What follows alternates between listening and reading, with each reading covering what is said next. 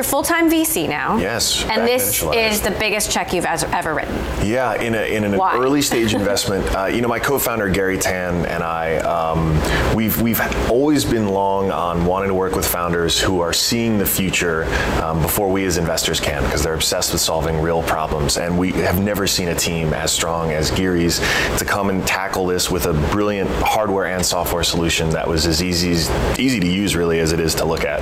So, Giri, how does Helm work and how is it different from what you could get with like Dropbox or iCloud?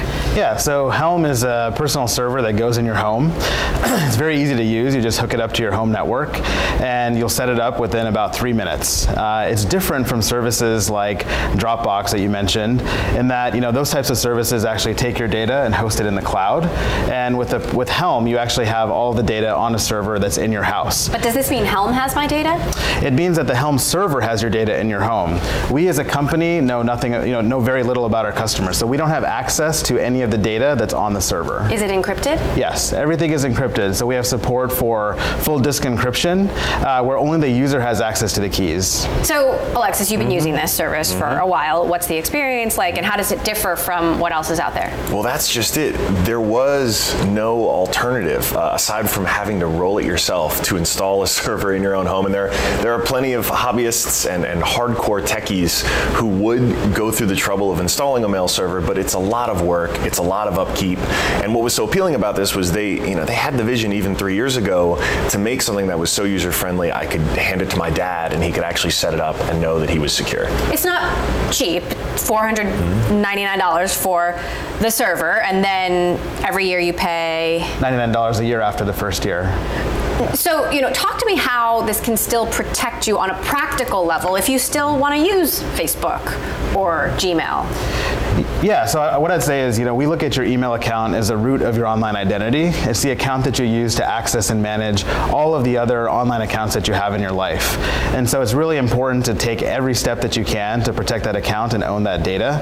Uh, so this is a way that people's accounts have been, and people's lives have been turned upside down. If someone gets into your email account, they can likely get into your bank accounts, your social media accounts, even get access to your health records. So we believe this is a, the first important step to taking back ownership of your online data. Alexis, is it Yeah. inconvenient though? It is one extra step, uh, and I think one of the signs that, that this team was really onto something was that, you know, three years ago they knew this was a coming trend, and in an age now where the average consumer is thinking a lot more about their privacy, about data breaches, where this is a very real situation, uh, I think it is one extra step, uh, but it's one that more and more Americans in particular, and just people all over the world, are more keen on taking. Right. How much do you think people actually care about their privacy? Like if it came down to, well, but you can't use Facebook, would they would would they stop using Facebook? Because despite all these data breaches, when you look at Facebook's results, you know, they continue to see engagement, they still have 2 billion users. Mm-hmm. I think what was so spectacular about this is by starting with email, you're creating a user experience that is really actually no different from what you're doing today. You'd, you'd still open your iPhone, you'd still go to your mail account. The difference is the servers where your mail is stored is actually secure. It's, it's in your home, it, it's physically yours. And I think that's, that's the, the, the foundation that got us so excited. So, Giri, how many customers do you have? What sort of growth are you expecting given the cost but also the concerns? Yeah, so today we're coming out of stealth mode. We're just announcing the product and its availability for sale.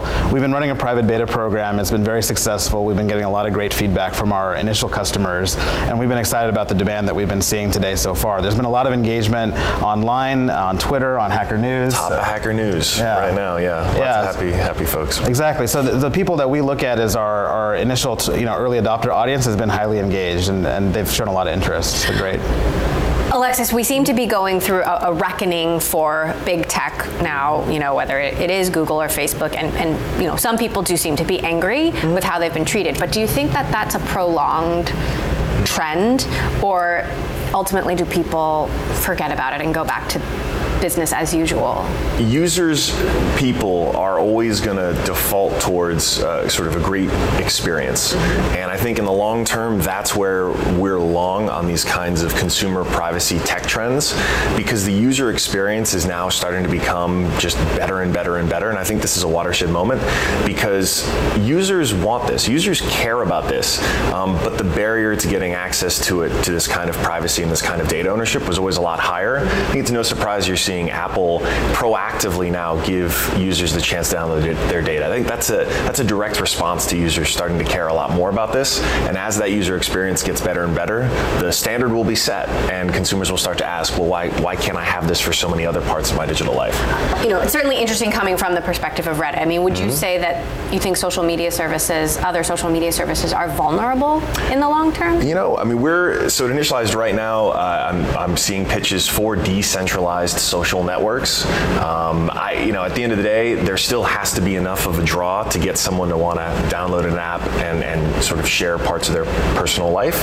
Um, but I do think this consumer today in 2018 is, is very, very different from the one back in you know 2004, 2005 when some of these networks started. And I think we do care more. And you know, I think just even coming to the home of someone who has a Helm device, they're going to see this. It's going to start a conversation, and it's going to get people thinking like, all right, well, am I really doing enough to secure my family digitally as I am, you know, physically?